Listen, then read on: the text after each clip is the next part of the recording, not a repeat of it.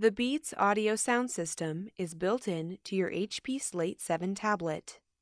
Beats Audio, used along with external headphones or speakers, produces high quality sound with a deep, evenly controlled bass. Use Beats Audio to enhance your sound experience when listening to music, watching movies and videos, and playing video games.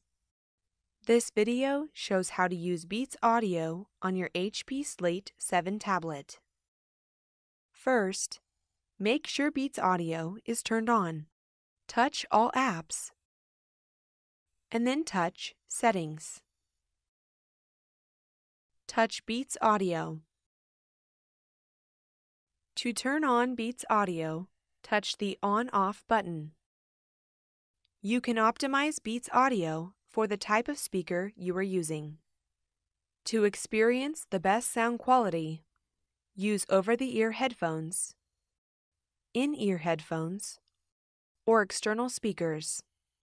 To begin, insert the headphone or speaker cable into the headphone port. On the home screen, touch All Apps and then touch Settings. In the Device section, touch Beats Audio. Then select the playback device you are using.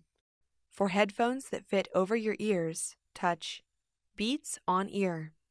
For in ear phones, touch Beats in Ear.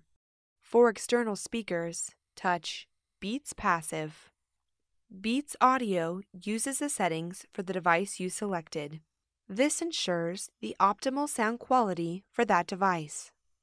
Now you can listen to your favorite media using built-in apps such as Play Music, Play Movies and TV, and YouTube.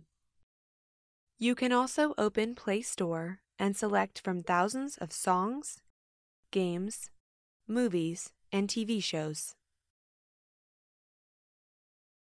To adjust the volume, use the volume button on the side of the tablet. To increase the volume, press the plus end of the button. To decrease the volume, press the minus end of the button. You can also adjust the volume on the screen. When you press the volume button on the tablet, a volume slider appears on the screen. Use your finger to drag the slider left to decrease the volume or drag the slider right to increase the volume.